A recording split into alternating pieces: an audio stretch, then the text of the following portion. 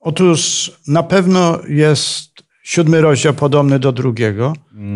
Ktoś powie, że to taki park jurajski, nie wiadomo o co chodzi, ale Że tak naprawdę to nie są jakieś szczególne gatunki zwierząt, I myślę, że do tego momentu jesteśmy zgodni, a potem e, szukamy dalej, po to im bardziej współczesna historia, tym trudniej nam jest to dopasować. Dzień dobry. Znajdujemy się w kościele adwentystów w Podkowie Leśnej na kolejnym spotkaniu ze starotestamentową księgą Daniela. Dzisiaj będziemy studiowali fragmenty dotyczące wizji Daniela, dotyczące wzburzonego morza i obłoków niebieskich. Co zobaczył Daniel, o tym już za chwilę.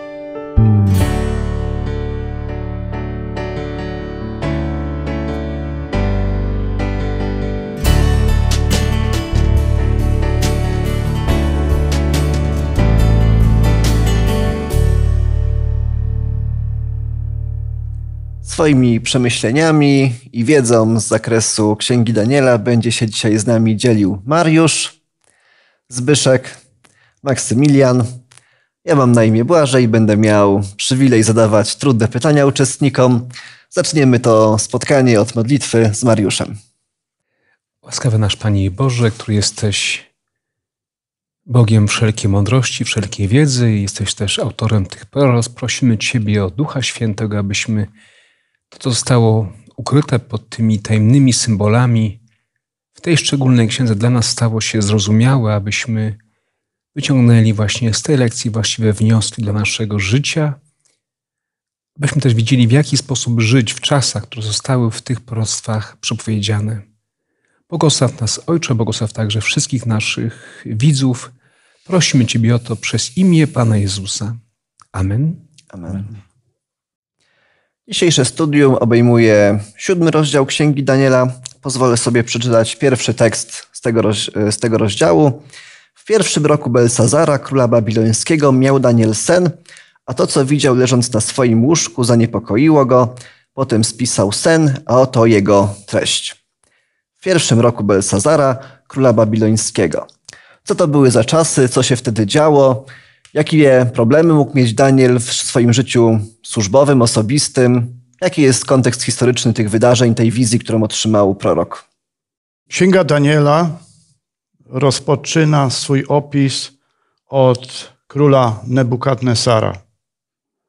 Ale król Nebukadnesar nie rządził na wieki i po nim władzę przejął jego syn Labas Marduk, ale i on nie rządził zbyt długo i kolejnym królem był zięć Nabonid. Ale z Nabonidem była ciekawa sytuacja, że w pewnym momencie y, wyprowadził się ze stolicy i przebywał w innym mieście, natomiast władzę przekazał swojemu synowi Belsazarowi. A zatem była taka niestabilność rządów, skoro y, urzędujący król przekazuje berło w kolejnej osobie, czyli swojemu synowi. Niemniej jednak y, Babilonia była wciąż mocna siłą swojego wojska, swojej armii, swoich rządów wewnętrznych i przede wszystkim tego, co zrobił, co wybudował król Nebukadnesar. Niemniej jednak, gdy Babilonia czuła się mocna, niebezpieczeństwo powoli zbliżało się na arenę dziejów dla tego imperium. W rozdziale czwartym dowiadujemy się, że król Nebukadnezar ostatecznie nawrócił się, poznał prawdziwego Boga. Z historii wiemy również, że wprowadził pewnego rodzaju, zepchnął, umniejszył kultowi Marduka, wprowadził kult jednego Boga, pewne, pewne formy monoteizmu, także widzimy, że jego nawrócenie było, było prawdziwe. Co się stało z tymi reformami religijnymi, które wprowadził król Nebukadnezar? Tak, widzimy króla Belsazara, który ma zupełnie inny stosunek do wierzeń swojego dziadka, bo król Nebukadnesar był, jak wynika z historii, dziadkiem Belsazara.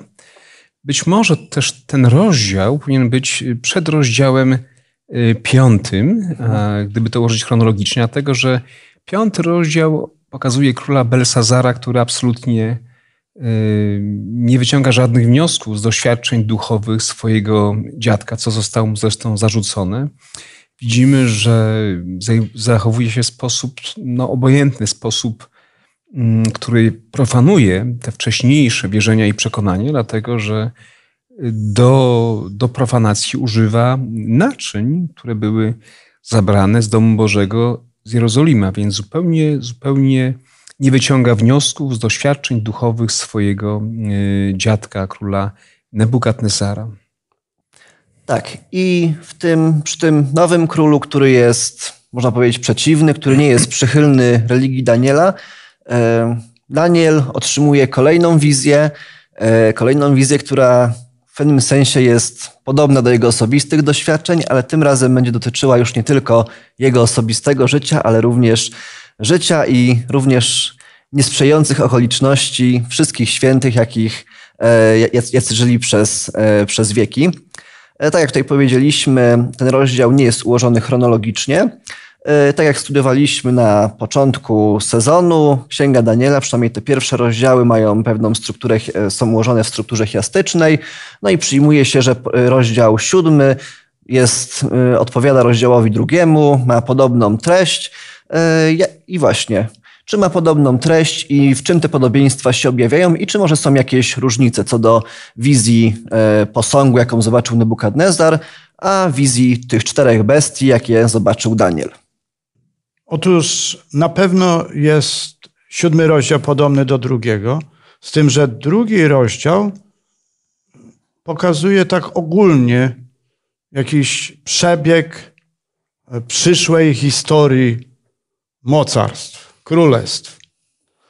E, natomiast w siódmym rozdziale ten przebieg został pokazany z pewnymi dodatkowymi szczegółami. Kolejność jest ta sama, ale szczegóły te są ukazane w, w formie zwierząt, a nie w formie jakiegoś materiału. Już jeszcze inne podobieństwa. Tam były cztery moce prezentowane przez cztery rodzaje metalu, z którego zbudowany był y, posąg wizji, wizji króla Nebukadnesara. Y, I tamten rozdział też kończy się mm, Królestwem Bożym, czy sięga jakby do czasów eschatologicznych, do powtórnego przyjścia Jezusa, do ustanowienia Królestwa Bożego. Również siódmy rozdział. Tutaj mamy z kolei cztery zwierzęta, więc też te same, te same potęgi y, polityczne. I również kończą, kończy się wizją odzyskania jakby Królestwa Bożego przez świętych Najwyższego. Więc ten zakres y, proroctwa Symbolika, mm, cztery królestwa występują i w drugim, i w rozdziale siódmym, i wszystkie te rozdziały kończą się tą wizją właśnie tego eschatologicznego, eschatologicznego Królestwa Bożego w czasach, w czasach końca. Czy słusznym jest, czy uzasadnionym jest to, że Pan Bóg przekazał Danielowi e, wizję królestw jako bestie? Czy rzeczywiście bestie i królestwa mają coś wspólnego? Nad tym kiedyś myślałem, bo rzeczywiście ta wizja dla osób, które nie znają Pisma Świętego, wydaje się dziwna. Mm, ktoś powie, że to taki park jurajski, wiadomo o co chodzi, ale y, gdybyśmy wniknęli w tamtą kulturę, y, symbole zwierząt były stosowane powszechnie na określenie, na określenie pewnych potęg. Miałem okazję być w zeszłym roku w Persepolis, a więc dawnej stolicy y, Persów. I tam przyglądałem się całej masie pozostawionych jeszcze płaskorzeźb, gdzie te właśnie symbole lwów, nie wiem, niedźwiedzi, y, one są powszechne. Gdybyśmy udali się do muzeum, do muzeum Pergamońskiego w Berlinie, tam również zobaczymy na drodze procesyjnej, która została zrekonstruowana na podstawie fragmentów wiezionych właśnie z dawnego Babilonu, również są uskrzydlone lwy, które maszerują w kierunku świątyni Isztar. Więc nas to dzisiaj dziwi. Mamy inny sposób przedstawiania pewnych y, obrazów. To był sposób, w jaki wówczas przedstawiano różne potęgi, więc bardzo czytelny dla ludzi, którzy żyli w czasach współczesnych Danielowi. Myślę, że też możemy zwrócić uwagę, jak tu mówiłeś o bestii, że to każdego rodzaju bestie. Jeśli w swoim założeniu e, każda potęga musi być bestią. Jeśli nie jest bestią, nie jest dynamiczna, nie jest rozwojowa, nigdy nie stanie się e, potęgą. Jeśli by było i wtedy, żeby obecnym, przyszłym pokazać, że to były potęgi, a nie zwykłe królestwa, które się rozwijały. E, królestwa mogły się normalnie rozwijać, a potęga zawsze musiała być dynamiczna, musiała być okrutna, musiała być straszna, dlatego że musiała pokonywać inne potęgi, inne państwa podbijać i nie można tego zrobić w sposób pokojowy. Tej takiej ekspresji, właściwie impresji e, tego przekazu również dodaje e, fakt, że tak naprawdę to nie są jakieś szczególne gatunki zwierząt, tylko Daniel widzi tutaj zwierzęta, które są podobne jakby do pewnych gatunków, tak? No to nie jest lew, który, który jest lwem, tylko widzimy, że to jest jakaś, coś, jakaś hybryda. Lew z, orli, z orlimi skrzydłami. Niedźwiedź, y, też jest powiedziane, że to było zwierzę podobne do niedźwiedzia. Y, również pantera miała cztery skrzydła, cztery głowy. Natomiast o czwartym zwierzęciu, e, czwarte zwierzęcie w ogóle jest, ciężko było Danielowi porównać do jakiegokolwiek gatunku. Więc widzimy, że te zwierzęta są takie straszne i też jakby zaprzeczały temu, co Pan Bóg stworzył. Nie są tym, e, co, e, co, co Pan Bóg uczynił. E, to nie, nie jest tym, co było dobre, ale widzimy, że to jest jakaś taka właśnie, że to są to siły, które są w pewnym stopniu już zaprzeczeniem tego Bożego porządku. Bożego porządku. Tak jest. Ale myślę, że to jest też tak, łatwiej nam jest jakby porównywać do jakichś potęg, dlatego że e, dana potęga nie jest, e, trudno ją opisać jednym zwierzęciem, prawda? Bo ma wiele twarzy, wiele obliczy jeśli połączymy kilka, to wtedy łatwo nam jest określić jakieś państwo, tak? Jakaś potęga, która ma, nie możemy powiedzieć, że tylko tak, ale ma jeszcze ten element, ten element i potem jeśli z perspektywy historycznej patrzymy, to łatwo nam jest to uzmysłowić, że to jest tak. Mamy złoto, mamy e, potęgę, lew, prawda, skrzydła, też dodatkowy element, który się pojawia też w kulturze danego państwa i łatwo jest nam potem to odczytać, jeśli będzie kilka elementów niż jeden, tak? Chciałbym zwrócić uwagę, że y, proroctwa eschatologiczne a takim jest również Księga Daniela, bazują na symbolice w innych księgach Starego Testamentu. I jedynie Żydzi, którzy znali y, księgi biblijne, byli w stanie to w jakiś sposób odcyfrować, czyli zinterpretować, co pomagało y, w takim znaczeniu, że jeżeli nawet ktoś potrafił mm, na podstawie tego proroctwa i na podstawie e, obserwowania zdarzeń, a zwłaszcza obserwowania wstecz, bo dopiero historia, zdarzeń, historia e, zapisana zdarzeniami jest zrozumiała i jasna, czyli proroctwo, które wypełni się w historii, jest dopiero wtedy zrozumiałe. I na pewno Żydzi w tamtych czasach e, nie byli w stanie sobie nawet wyobrazić, jak to będzie, kto to będzie tą kolejną, tą bestią, kolejnym mocarstwem, ale mogli w tej symbolice Starego Testamentu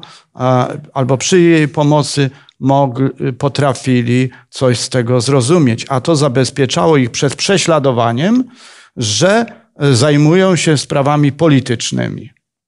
Czy z perspektywy czasu i znajomości historii możemy przypisać jakieś konkretne mocarstwa do tych czterech zwierząt? Bardzo konkretnie. Tutaj raczej, jeśli pamiętam, yy, jakieś próby interpretacji tego proroctwa, czytałem źródła katolickie, protestanckie, więc to jest pewna zgodność w tej kwestii. A więc na zasadzie analogii, tak jak w księdze Daniela mamy tą samą kolejność, czyli mamy Babilonię, czas, w którym żyje prorok, Medopersję, Grecję, Rzym, również przez analogię.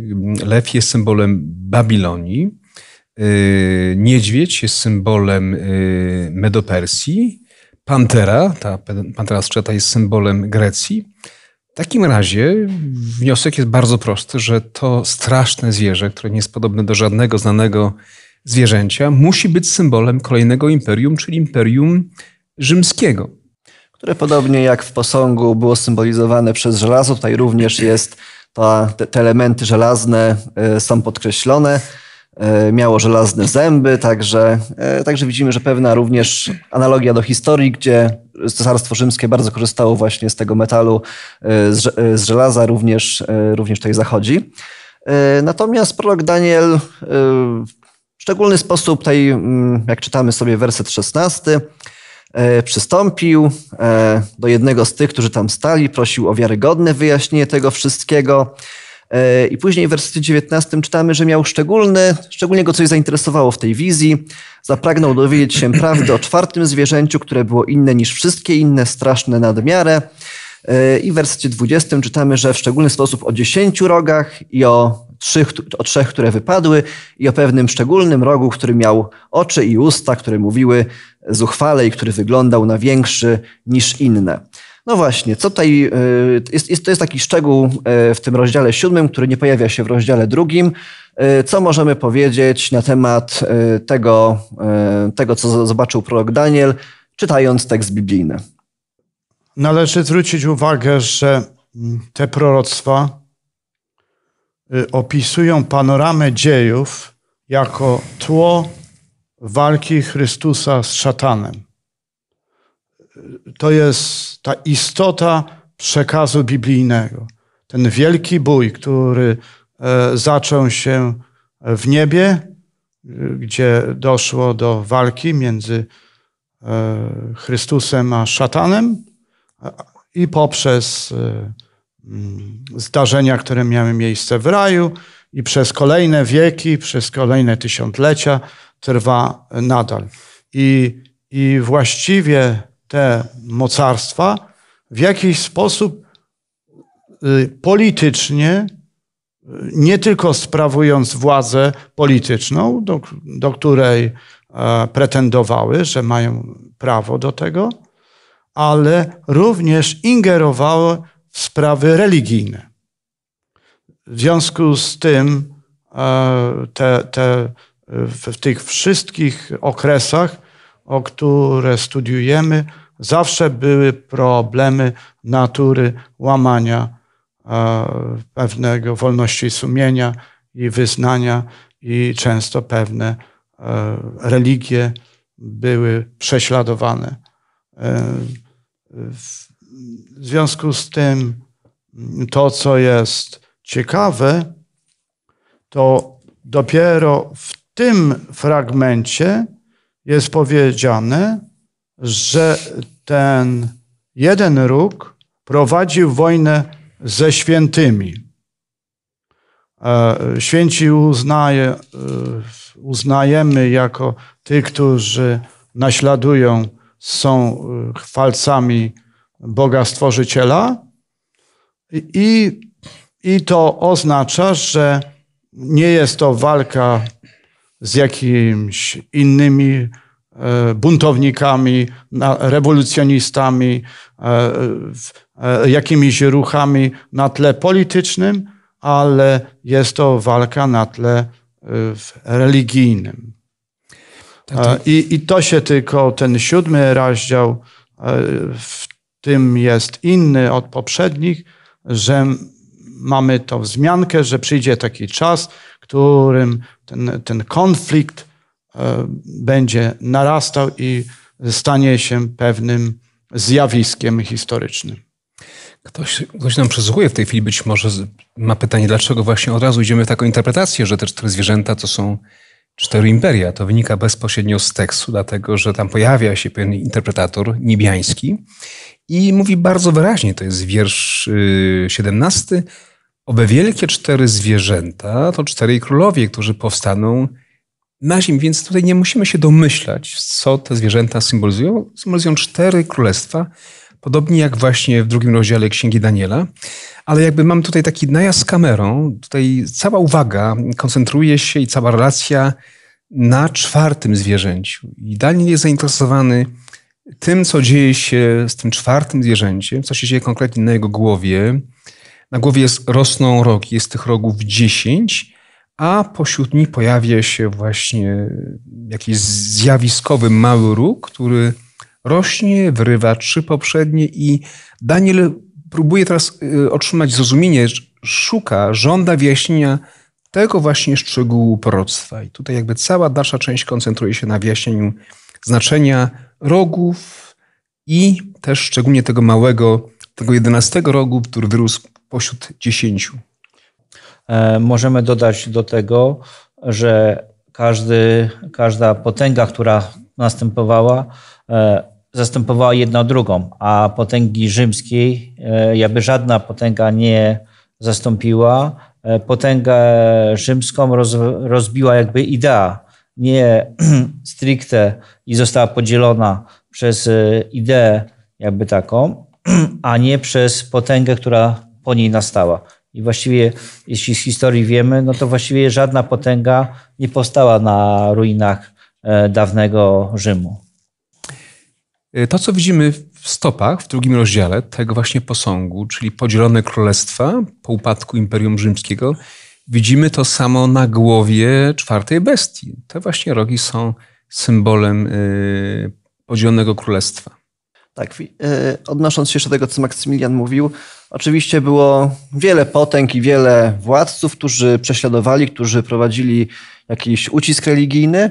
E, możemy tutaj wymienić choćby Antiocha Epifanesa, który sprofanował izraelską świątynię, składając, zdaje się, świnie nam na, na, na ofierze. Sam Babilon, który najechał, który zniszczył świątynię. E, wiele, wiele innych e, mocarstw w jakimś stopniu zawsze próbowało utrudnić kult czy Izraelo, Izraelowi, czy później Rzym, y, wiadomo, prześladował chrześcijan. Natomiast widzimy, że natomiast te, te, tego małego rogu nie możemy Możemy albo nie możemy. To jest do Was pytanie, czy, czy możemy go utożsamić z jakąś z tych potęg czy władców, które właśnie wymieniłem. Sądzę, że były takie próby. Nawet niedawno, kiedy powstało państwo islamskie, i słyszeliśmy na temat y, tych wyczynów, na temat prześladowania chrześcijan. Przecież były też były egzekucje publiczne, kiedy mordowano wyznawców Chrystusa w wielu krajach opanowanych przez państwo islamskie. Wówczas widziałem wiele komentarzy, które się pojawiły w internecie, że być może ta siła wypełnia to proroctwo w małym rogu.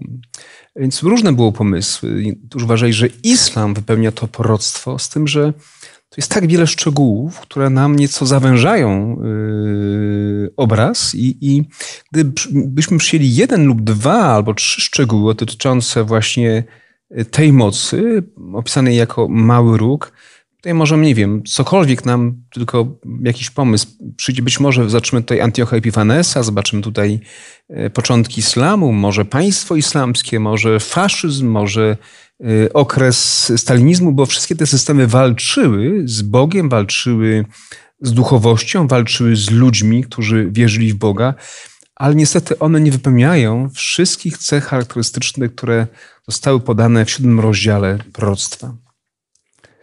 W takim razie może znajdźmy jakieś jeszcze dodatkowe cechy, które, o których wspomina Księga Daniela.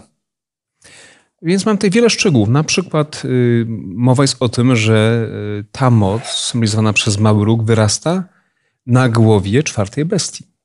Wiem, że czwartą bestią jest y, Imperium Romanum.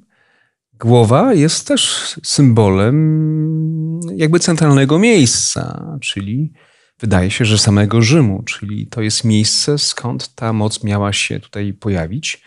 Po drugie, wyrasta też w pewnym okresie historii, bo widzimy, że wyrasta pośród dziesięciu rogów. Jeśli rogi są symbolem podziału Imperium Rzymskiego, ta moc pojawia się, osiąga, osiąga swoją potęgę wtedy, kiedy Imperium Rzymskie jest podzielone, tak? czyli wtedy, kiedy jego terytorium zostało jakby rozszarpane, podzielone pomiędzy dziesięć barbarzyńskich narodów, podobnie jak w Danielowej wizji w drugim rozdziale Stopy zmieszane y, z żelazą i z glininą były symbolem podziału.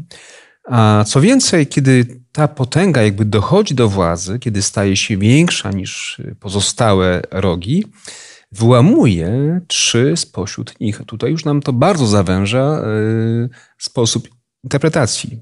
Może też kolejne cechy. Chciałbym podać jedną rzecz, że otóż y, Problem leży w zdefiniowaniu areny, czyli miejsca, w którym te zdarzenia mają miejsce. Nie ma y, wątpliwości, że główną areną działania Imperium Rzymskiego była Europa. Resztę to były podbite terytoria, które były zarządzane z centrali. I to, co działo się w centrali, to, co działo się w Italii, y, było wyznacznikiem e, funkcjonowania y, i trendem rozwoju e, tego imperium. E, zatem mm, doszukiwanie na Bliskim Wschodzie jakiejś nowej potęgi, która miałaby wypełnić proroctwo biblijne, skazane jest moim zdaniem na, na porażkę. Tym bardziej, że gdy zadamy pytanie, a jakiś, jakie trzy kraje, jakie trzy królestwa islam zniósł swoim pojawieniem się? No, nie słyszałem żadnej odpowiedzi na to pytanie, że tak precyzyjnie można o tym powiedzieć. W związku z tym na tej arenie europejskiej trzeba szukać mm, czegoś, e, jakichś zjawisk, e, zdarzeń historycznych, e, które by pomogły zidentyfikować tą szczególną potęgę. I tu jest taka myśl, mm, że będzie gnębił świętych Najwyższego, czyli będzie uciskał, E, wiernych, ale będzie również wypowiadał słowa przeciw Najwyższemu i chciał zmienić czasy i prawo. E, a zatem są to pewne rzeczy, które wiążą się z istotą chrześcijaństwa. E, raczej nie wiąże się to z jakimś, nazwałbym to, sporem międzyreligijnym między chrześcijaństwem a, a, a, a islamem, czy jakąkolwiek inną religią.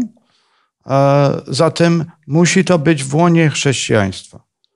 Ale gdy popatrzymy na dłuższy przebieg historii Europy, e, historii świata, to dojdziemy, że, e, że właściwie ta azjatycka część imperium e, rzymskiego e, została zdominowana przez islam i jakby znikła z, z, z areny dziejów i oddziaływania imperium. Mm, znikła z tej areny, o której opisuje prorok. E, zatem dalej to trzeba poszukiwać w samej Europie. Możemy dodać, że poprzednie królestwa były zastępowane kolejnymi, a tutaj wiemy jakby z Biblii, że w okresie Cesarstwa Rzymskiego e, narodził się Jezus i narodziła się idea chrześcijaństwa, więc e, ta idea się jakby w inny sposób zaczęła kształtować całą historię e, Rzymu, tą drugą połowę. To jakby powstała z Rzymu. I miała wpływ na całą, e, na całą Europę. Po cała Europa powstała chrześcijańska. I myślę, że do tego momentu jesteśmy zgodni, a potem e, szukamy dalej. Po to im bardziej współczesna historia, tym trudniej nam jest to dopasować. Tak samo jak łatwo nam jest dopasować do rzeczy, które się odbyły, jak tutaj Maksymilian mówił, do historii byłej, a trudno jest to, co się teraz wydarza na bieżąco. Tak, czy nie jest to już Rzym pogański, dlatego że mówiliśmy o tym Rzymie barbarzyńskim, o tej bestii, która miała kły, miała pazury, niszczyła, miażdżyła. Tutaj nagle widzimy pewną taką subtelność w postępowaniu, bo jest to moc, która ma oczy i usta, tak? A więc widzimy jakiś przejaw inteligencji. To już nie jest zwierzę, bestia z pazurami, z kłami. To jest, to jest moc, która ma, ma oczy i usta a jednocześnie ma charakter wyraźnie religijny, duchowy, ponieważ ma pewne pretensje religijne. Myślę, że apostoł Paweł znał to proroctwo, kiedy pisał do Tesaloniczan i też w tym, w tym swoim liście mówi o powstaniu człowieka grzechu i mówi o pewnej mocy, która zaistnieje gdzieś w przyszłości, ale przed powtórnym przyjściem Jezusa, która nawet zasiądzie w świątyni Bożej, podając się za Boga i zapewnia nas, że ta moc będzie pokonana przy powtórnym przyjściu Jezusa. Sam Pan pokona właśnie tą, tą, tą moc tego człowieka grzechu. Więc gdybyśmy połączyli to, te proroctwa, widzimy, że mamy do czynienia z pewną mocą o charakterze religijnym, która istnieje od czasów Imperium Romanum, od w zasadzie upadku Imperium Rzymskiego, sięga aż do powtórnego przyjścia Chrystusa, więc y, istnieje do czasów eschatologicznych. Więc tutaj nie możemy mówić o jakimś pojedynczym człowieku, o pojedynczym, y, nie wiem, królu. To nie może być Antioch Epifanes, to nie może być Józef Stalin, Adolf Hitler, Napoleon Bonaparte. Mówimy o pewnym systemie. Systemie, nie wiem, geopolitycznym, polityczno-religijnym i no tak to widzi prorok. Dopiero wtedy te wszystkie, wszystkie punkty, wszystkie cechy zaczynają nam się w jakiś sposób zgadzać. Zobaczcie, zobaczmy, jeśli w Biblii przeczytamy, e, który miał oczy i usta, które mówiły zuchwale i który wyglądał na większy niż inne. Oczy i usta, tak jak tutaj mówiliśmy, że to idea, prawda, symbolizuje na pewną ideę, a który wyglądał, to nie znaczy, że był większy, ale wyglądał. Idea zawsze wygląda na bardziej potężną niż faktycznie ma. Oczywiście ma dostęp duży, ale ma, wygląda na to, że jest duża. A nie, nie oznacza to, że faktycznie jest tak duża. Już od wielu tak naprawdę wieków mm, prześladowani, yy, prześladowani interpretowali ten, tego małe, ten mały róg jako instytucję, jako administrację Kościoła Rzymskiego, tego przedłużenia y, y, państwa Imperium, Imperium Rzymskiego. Czy takie, taka interpretacja, że jest to system związany z papiestwem, czy nie jest obraźliwa? Czy nie jest jakoś atakująca? Czy, czy moglibyście powiedzieć, czy to nie jest jakieś nadużycie? W odpowiedzi na to pytanie nie da się postawić jednoznacznie jednoznacznie powiedzieć. To wszystko zależy od tego, e, e, czy jesteśmy emocjonalnie związani z pewną ideą, czy bardziej racjonalnie, czy studiujemy Pismo Święte i w niej znajdujemy odpowiedź na pytania. W związku z tym, żeby gdy pojawia się tego rodzaju określenie, należy na pewno odesłać każdego słuchacza i czytelnika do dodatkowej literatury, który mógłby poznać całokształt rzeczy i wtedy się dowiedzieć, jak te wszystkie elementy idealnie pasują do siebie. Sądzę też, że jest ważne, że w podobny sposób interpretowali ten fragment y, reformatorzy Kościoła. Nawet więcej, już w średniowieczu, nawet niektórzy katolicy interpretatorzy właśnie Księgi Daniela wskazywali, że właśnie średniowieczny system papieski wypełnia te wszystkie znamiona prosta Daniela rozdział siódmy. No i mamy całą masę dowodów historycznych, całą masę faktów, które mówią, że to rzeczywiście miało miejsce, więc możemy się obrażać, możemy czuć się dotknięci, ale z jednej strony to, tak, tak, taka była rzeczywistość. To się po prostu działo i, i a to proroctwo wskazało, wskazywało bardzo wyraźnie, że ta moc y, zaistnieje, ta moc będzie miała taki, a nie inny charakter. Myślę, problemem dla nas wszystkich jest to, że tamte królestwa, które, o których wspominałych, istniały po 100 lat, 100-150 lat, a ten ostatnie zwierzę i ten ostatni rozdział, o którym rozmawiamy, trwa dwa tysiące lat i jest to nam bardzo trudno dokładnie dopełnić, bo niektóre elementy się dodają, prawda? Więc y, jesteśmy w trakcie tego wypełniania, więc to pamiętajmy, że tam mamy po 100 lat, a tutaj mamy 2000 lat. Więc te papiestwo, które było, czy przyjęcie władzy e, przez y, Rzym e, i powiedzmy przejęcie chrześcijaństwa przez Rzym, to było 1500 lat temu, a potem różne rzeczy się wydarzały i historia się bardzo zmieniała i cała całość też musimy na to kontekst historyczny dodać. Tak, czyli widzimy w tym rozdziale, że prorok Daniel otrzymuje wizję mocarstw, które w pewien sposób fizyczny walczyły e, z wiarą w Boga, no i później tego małego rogu, który też wypacza pewne idee, które zmienia prawo, które pewne stawia się w miejscu e, właśnie Boga i sobie pewnego rodzaju cześć przypisuje. Natomiast w, centralnym rozdzia- w centralnej części tego rozdziału jest scena sądu. I teraz pytanie, już e, jedno z ostatnich. Czego ten sąd dotyczy? Po co jest ten sąd? Kiedy on trwa? Czego dotyczy? Jaka sprawa się rozpatruje na tym sądzie? Z całą pewnością ten sąd ma miejsce w niebie. Nie jest to wizja sądu ostatecznego. Sąd ma miejsce w niebie. To jest wizja sądu, która odbywa się w niebie. Jest tam sędziwy, e, jest tam syn człowieczy, który w tej wizji pojawia się. I no przede wszystkim mm, ten sąd dotyczy ludu Bożego, dotyczy przyznania ludowi Bożemu sprawiedliwości. W wyniku tego sądu, jak mówi nam 27 rozdział i kolejne wersety, y, mm, królestwo, władza i moc nad wszystkimi królestwami pod całym niebem będą przekazane ludowi świętych Najwyższego. Jego królestwo jest królestwem wiecznym, a wszystkie moce jemu będą służyć, jemu będą poddane. Czyli ten sąd ma miejsce wtedy, kiedy, kiedy jeszcze wciąż moc, o której wspomina e, ta wizja, szczególnie ta moc e, symbolizowana przez mały róg, wciąż jest jeszcze aktywna. Co prawda, w wyniku tego sądu powiedziane jest, że e, ta władza tej mocy będzie skrócona do czasu, dwóch czasów i pół czasu, prawda? Więc rozumiemy, że ten sąd jakby skraca ten okres panowania tej mocy do czasu, dwóch czasów pół czasu, co myślę, że pozwoliłoby nam bardzo dokładnie określić yy, czas, okres panowania, ale też datę, daty krańcowe, datę początkową i datę yy, końcową.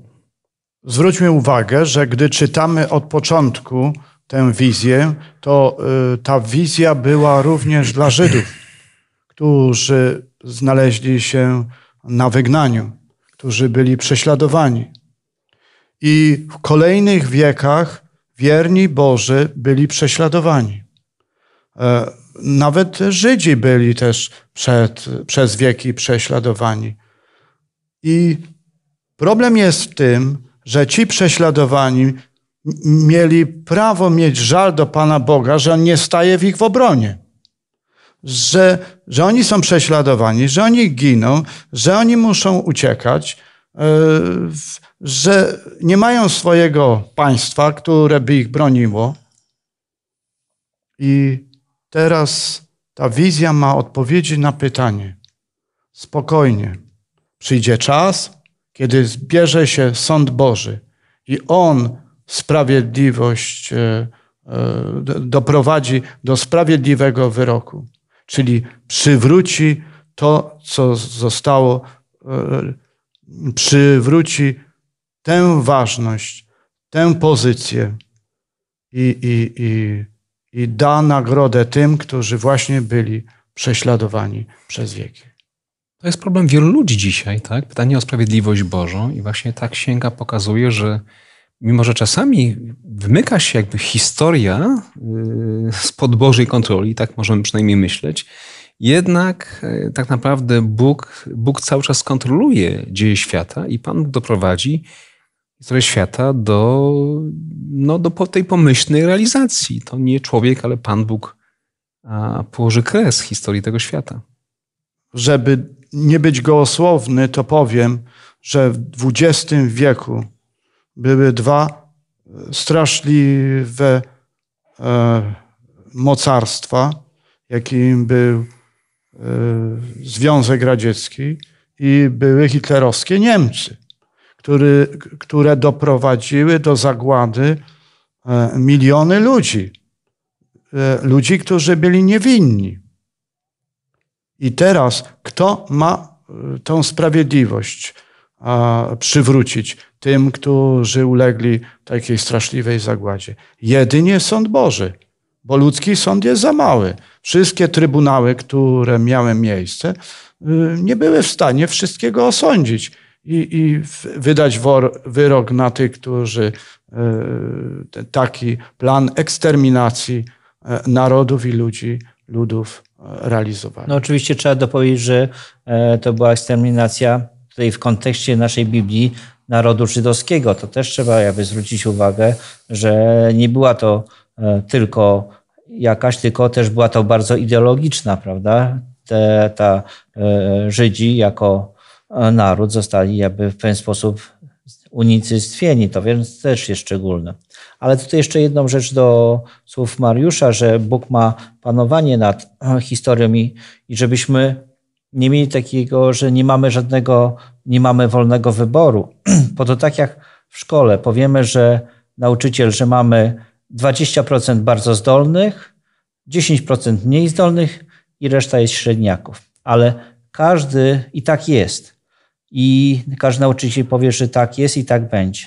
Ale każdy uczeń ma własną, osobistą decyzję, do której grupy może należeć. Tak samo tutaj historia się toczy, historia się wydarza, ale my za każdym razem mamy wolny wybór, gdzie możemy, jaką decyzję możemy e, podjąć w stosunku do, e, czy idziemy za Bogiem, czy nie. I ty, drogi słuchaczu, być może kiedy dotykają cię jakieś nieszczęścia, niesprawiedliwości, mniejsze lub większe, w zależności od tego, gdzie żyjesz, z czym się spotykasz, zastanawiasz się, gdzie jest Bóg, gdzie On jest, czemu, czemu nie odpowiada. Otóż Bóg jest, Bóg, y, Bóg się tłumaczy ze, swoich, ze swojego postępowania. Jak, widzieliśmy w, jak widzimy w siódmym rozdziale Daniela, tłumaczy się wobec wszystkich istot we wszechświecie. Wierzymy również, że kiedyś i nam wszystkim wytłumaczy się i każdy język powie, tak Panie Boże, Ty jesteś w stu procentach miłością, Ty jesteś w stu procentach dobry, w stu procentach sprawiedliwy i nie mamy do, co do tego żadnych wątpliwości i wierzę, że kiedy, kiedy zakończy się sąd, to wszystkie, yy, wszystkie usta, wszyscy ludzie i wszystkie istoty we wszechświecie przyznają Bogu rację. Z drugiej strony, siódmy rozdział Księgi Daniela zachęca nas, żeby być w gronie Jego sprawiedliwych, Jego świętych, tych, którzy przestrzegają Jego prawa, tych, którzy nie podążają za powszechnym odstępstwem, ale tych, którzy się trzymają Jego przykazań i przede wszystkim trzymają się tego adwokata, który właśnie jest dla nas na sądzie, Jezusa Chrystusa, który nie tylko e, nas, e, za nas umarł, ale również broni nas na tym niebiańskim sądzie. Mówi: Ja za ciebie przelałem, ja za tego człowieka przelałem swoją krew. On jest sprawiedliwy, on jest święty w moich oczach. Ja chcę go mieć w swoim królestwie. Tego Ci życzę, żebyśmy kiedyś się tam znaleźli w Jego królestwie, które będzie tym królestwem nieprzemijającym. Zapraszam do końcowej modlitwy. Dziękujemy Ci Boże za to studium, za te myśli, które mieliśmy i prosimy o błogosławieństwo na najbliższy zbliżający się tydzień dla nas, żebyśmy podejmowali właściwe decyzje. Przez Jezusa Chrystusa. Amen. Amen. Amen.